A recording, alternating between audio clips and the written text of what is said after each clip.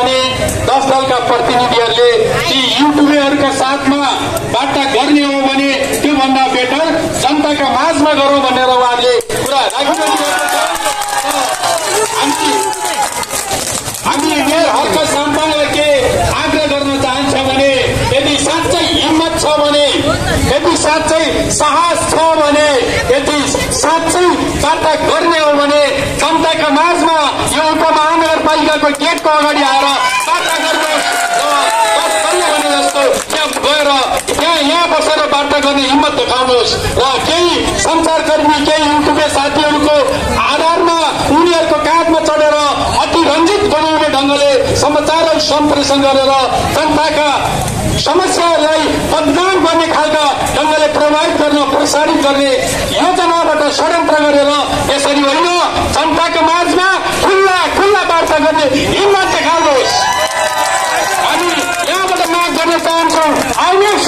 यो गेट अगाडि बसेर वार्ता गर्नुहोस् दल दलका दस दलका प्रतिनिधिहरूलाई पनि यो गेटमा आएर वार्ता गर्ने आएको जुन निर्णय छ त्यो निर्णयलाई पनि हामी स्वागत गर्दै यो सडकमा आएर वार्ता गर्ने हिम्मत देखाउन उनीहरूको सन्तानलाई हामी चुनौती दिन्छौँ हामी उनी डराएका हुन् भने यो सडकमा बसेर वार्ता गर्न डराउने हो भने उनले नडराए हुन्छ हामी सुरक्षा दिनेछौँ हामी जनताको तर्फबाट उनको एक दल पनि नहल्लाउने सुरक्षाको ग्यारेन्टी दिन पनि चाहन्छौँ र उनी उनीलाई हिम्मत छ भने कायर होइनन् भने आऊ सडकमा वार्ता गर भनेर हामी चुनौती दिन्छौँ।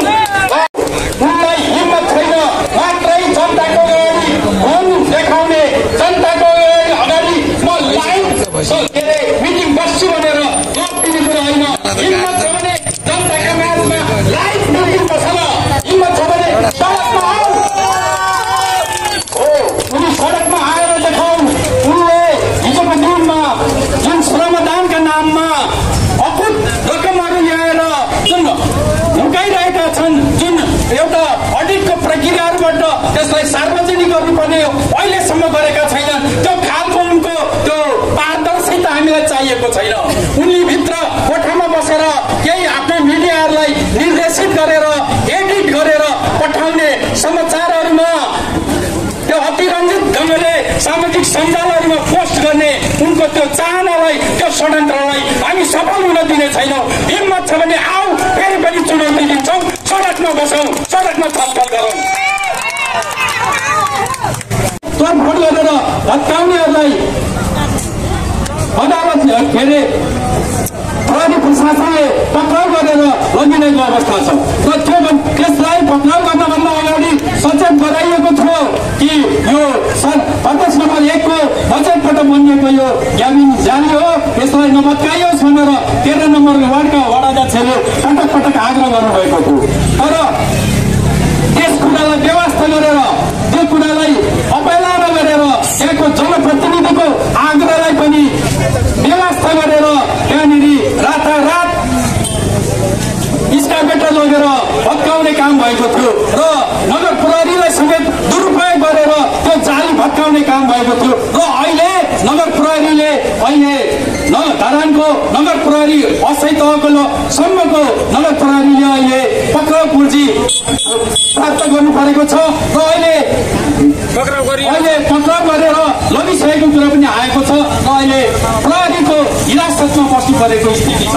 अहिले यो हर्कराज हर्कराज साम्पाङले हर्कराजलाई भनिएको हर्क साम्पाङको यो अवैध तौर तरिका अनियमितताका कुराहरूले गर्दाखेरि अहिले नगर प्रहरीले पनि दुःख पाइरहेको अवस्था छ दुरुपयोग गरिएको कारणले गर्दा दुःख पाइरहेको अवस्था छ। छैन? र त्यो कारणले गर्दा उनी महसुल वृद्धि गरेर उनका आसेपासेहरूलाई तलब खुवाउने कोसिसमा छन्। र खानेपानी व्यवस्थापन बोर्डका कार्यकारी प्रमुख राजु पोखरेललाई पनि म के सचेत गराउन चाहन्छु भने सचेत गराउन चाहन्छु भने अर्कराज साम्पाङ राईले अध्यक्षको नाममा जुन निर्देशन जारी गरेका छन् र जुन बजेट त्यहाँको रकम दुरुपयोग जिम्मेवार राजु पोखरेल पनि हो।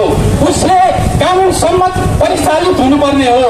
अवैध बोर्डको अध्यक्षले दिएको निर्देशनलाई कार्यान्वयन गरिरहेको छ र त्यहाँ भएका करोडौँका पाइपहरूलाई पनि दुरुपयोग गरिएको छ र करोडौँको रकमलाई पनि दुरुपयोग गरिरहेको छ र अहिले दलहरूले भनिरहेका छन् कि त्यो खानेपानी बोर्डको रकमहरूलाई अडिट गरियोस् त्यो रकमलाई सार्वजनिक गरियोस् त्यो हरिसाब बुझाइयोस् भनेर माग गरेको एउटा बुदामा त्यो पनि रहेको छ। र त्यो कुरालाई उनले सार्वजनिक गर्ने हिम्मत गरिरहेका छैनन्। त्यसलाई बाइपास गरेर उनले यो मूल्य वृद्धिको विषयलाई अगाडि ल्याएर हामीलाई गुरु के अरे भ्रमण तुलाइरहेको छ। हामीलाई अलमलाउने कामहरू भइरहेको छ र उनले अहिलेसम्म जुन खानेपानी व्यवस्थापन बोर्डमा आइयुडिपी अन्तर्गत भएको खर्चको हर हिसाबलाई सार्वजनिक गरेका छैनन् नै। यसको साथै उनले जुन रूपमा यो मूल्य वृद्धि गरेका छन् यो मूल्य वृद्धिको हिसाबले वर्षको न्यूनतम एक्काइस करोडको तलमाथि हुने अवस्थाहरू देखिन्छ। यो एक्काइस करोडको तलमाथि भइरहँदाको यो रकमले मात्रै उसका आसेपासेहरूलाई तलब खुवाउन पुग्ने अवस्था देखिन्छ। नत्र भने हिजोको दिनसम्म यही नगरपालिका हो यही उपमहानगरपालिका हो हिजोको दिनसम्म यो उनासी भन्दा अगाडिसम्म यो उपमहानगरपालिकाले ऋणको किस्ता सहज रूपमा बुझाइरहेको थियो र बुझाएकै कारणले एक अरब सवा अरबभन्दा बढीको रकमबाट घटेर सन्ताउन्न करोड मात्रै ऋण बाँकी रहेको कुरोले पनि पुष्टि गर्दछ। कि त्यतिखेर जुन सहजताका साथ ऋण तिरेर आएको थियो त्यो ऋण अहिले किन तिरिएन?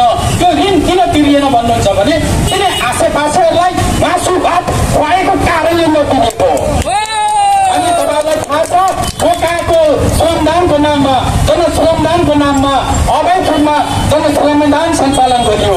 र यसमा आम जनतालाई यो भावनात्मक रूपमा ब्ल्याकमेलिङ गरेर इमोसनल इमोसनल ब्ल्याकमेलिङ गरेर उनीहरूबाट चन्दा असुल असुल्ने कामहरू भइरहेको छ।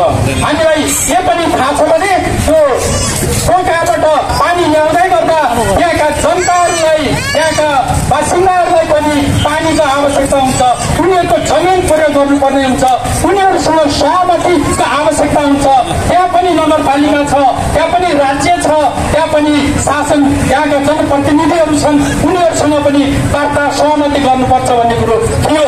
तर उनले एक लौटी भरमा एकौरो भरमा उनले खेल्न खोज्दाखेरि त्यहाँ समस्या भएको कुरा पनि तपाईँहरूमा तपाईँहरूलाई अवगत छ।